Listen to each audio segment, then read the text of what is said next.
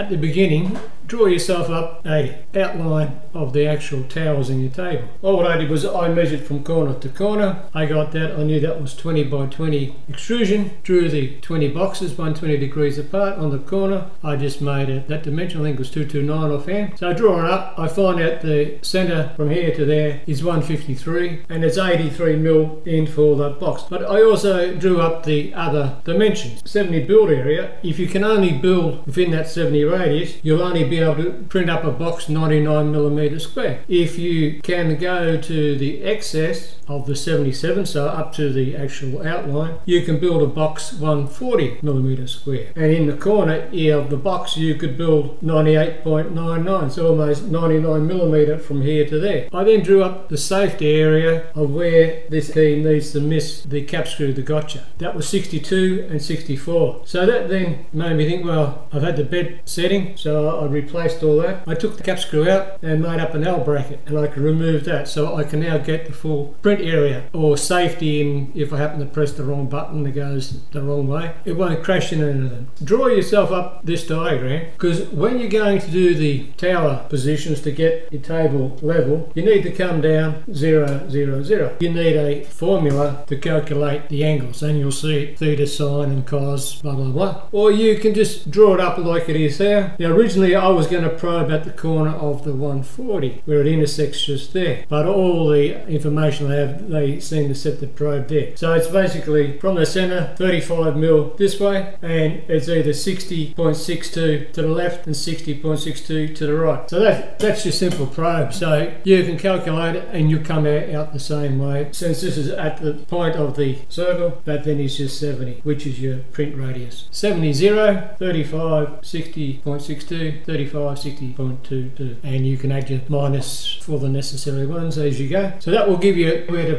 Now the other thing you need to do is I use the packers, but I've had a rethink and I've then just gone and decided to put on the little adjuster screw. I've used the M2, which is 0.4 of a mil. If you get a Phillips head of the plus, each little 90 degrees is 0.1 of a millimeter. People have a lot of problems setting it up to do the bed. It's fairly easy, repetitive, but it's fairly easy, especially if you think about it for a minute. Originally, I used to go out and measure this and measure that, and, and I thought, no, no. The guy who designed the printer thought about it. He says, I'll make this offset 20 mil, I'll make that 15. He didn't say I'll make that 11.23 or 5 or 8. If you get this STL file, you will find that it's 20 millimeter. If you just measure the hole distance where the screws go to the center bore, it's 20 mil. So that distance is 20. Remember that we said from here to here, these to be 230. So it's 230, and I already mentioned the carriage dimension 15. They're exact numbers. Then the other one is just the center. With this drawing, mine's 153.2. That from that drawing, it was 153 point such and such. Uh, well, the guy wouldn't make it 153. So I entered in 230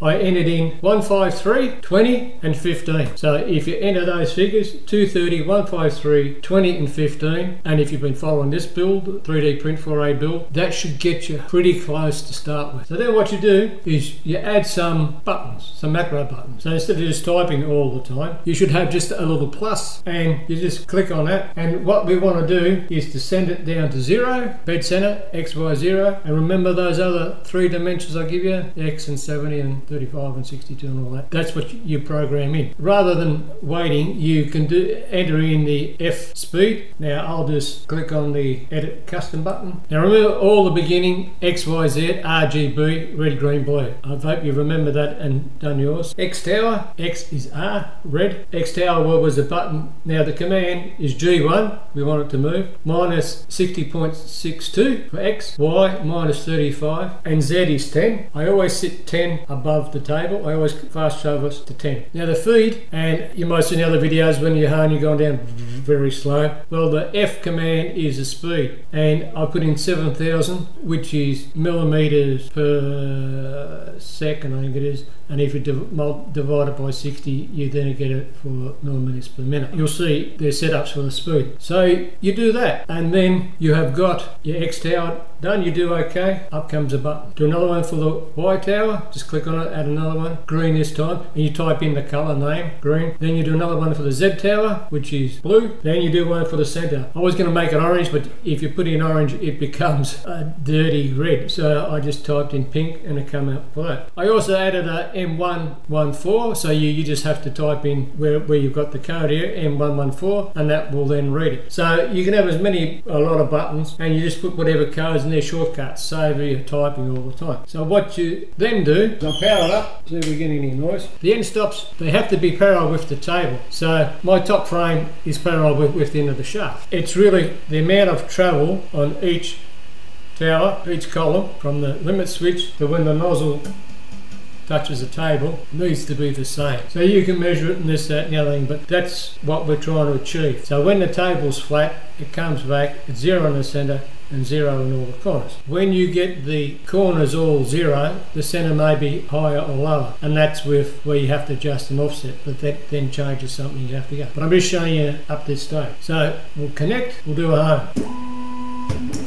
Now just try your M14 button and see that it's working right and your code's fine. Now your Z you've set before. It changes all the time when you make different adjustments. What I did was I made those heights 10 so I go centre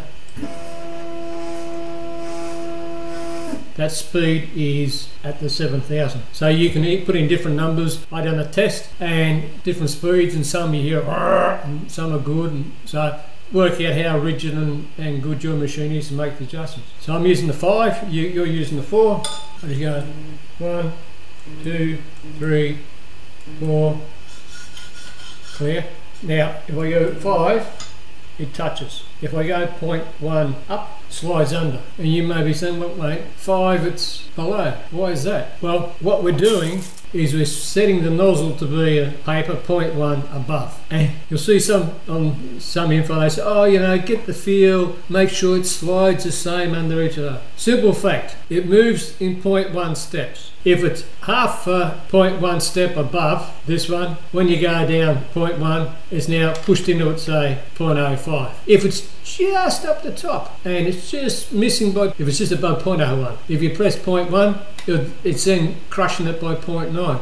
Where they say, oh, the feel, no, touches or not touches. Simple as that. Not, oh, I can feel it's a bit thicker. No, that's that's what comes out of a bull's rear end. You can't adjust a little bit, it's those steps. That's what the steps are. So that's why with this, it either goes under or it doesn't. You, you can't crush it. What I then do, I then go one, two, three, four.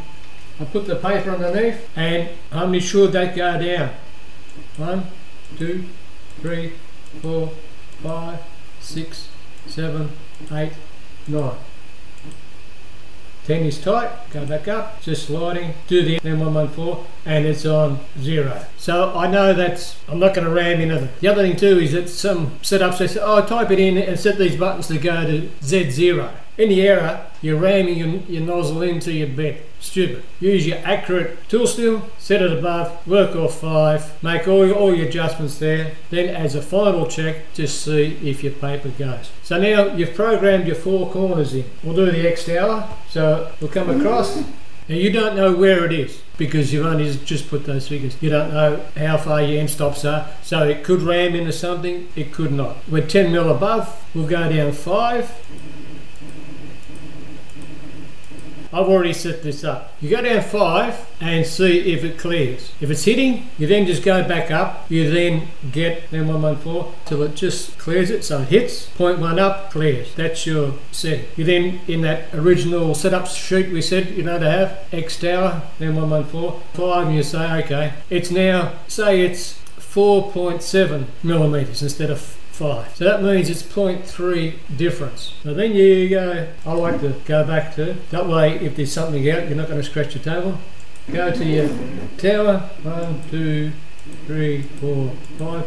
If you lose count, just do an M14 and it'll tell you, measure it, do an M14, same thing, and just say it's 4.4, so it's 0.6, so you put that in. So 5, difference or whatever. We'll go back up, go to the Z tower, we'll go down, you know, measure it and just say it's plus. It reads 5.3. The others were 4 point something, it's 5%. So you put that. So that's a difference of plus so much. So that's now telling you what your end stops are out to the amount of travel from the centre. So if it goes past the piece of tool steel, what I've done is I've just kept a measurement, first measurement, and I said, right, centre is at 5 mil, and then I said, right, this is below the tool steel, this is above the tool steel. If it's below, you then screw the contact out. So in other words, it's moving too far and you need, need to reduce it. Now, they say do Z center, Z center, then do X center, X center, Y center, Y center, X check, center check, Y check,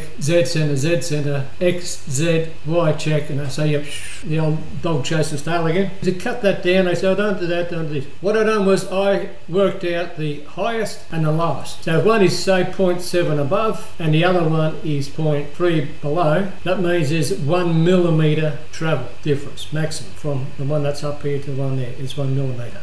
Don't think it's just a matter of turning because it's the way it moves the arms and all that. My idea of setting the print up is to keep the maximum print area maximum volume. Putting the little screws in made it 2.6 less travel. So then I had to adjust it. So what you do is you find out which tower is the least amount out. The one that you don't have to screw out. The ones that are plus. That happen to be my Z. And you don't touch that because that's the minimum amount. All the others you are going to raise up to that. So some say, oh screw it out half a turn, you know, so, so you got half a travel this way and that way, half a travel this way. No, screw them all in on the bottom. This is your limit switch little screw. Screw them all on the bottom, have a nut underneath, screw them in, all in. Then that's your maximum. Find out which tower has got the least amount that you have to remove, then adjust the other two. So I said, right, it's one millimeter. I then said, right, zip the, say the X, one millimeter. Now if you use an M2 like I recommended, that's 0.4 of a millimeter. So you do two and a half turns. Then you, you look at the other one and it might be 0.2 difference to, you know, the Y might be 0.2 difference to the X. So you do it one millimeter less that 0.2. Then you probe again. But this time you go in the center and you come down and you find your center is no longer at zero. Go back in your config, adjust that straight away. Upload it again, home, come down and adjust it until your 5 mil or your 4 mil slides under and then just touches. Check it with your piece of paper. Then go and measure your X, Y and Z heights again. Note them and they may still be the same or there might be a slight variation. But now